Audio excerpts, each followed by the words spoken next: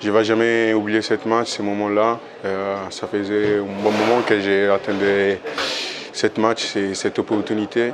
Un peu déçu pour les résultats, mais de, je suis quand même content pour euh, euh, mon objectif professionnel et c'est ça.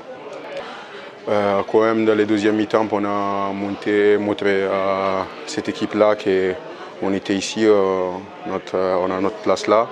Et quand même, il faut qu'on doit trouver l'esprit pour avoir une bonne énergie à partir de la première mi-temps. Exactement, il y a de très bonnes choses, mais il faut qu'on mette juste les choses positives pour arriver à gagner des matchs de niveau comme ça.